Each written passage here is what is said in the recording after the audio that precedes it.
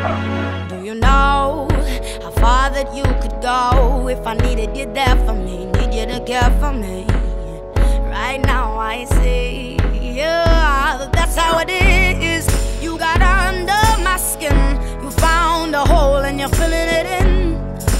You're filling it in. What if I'm about to fall?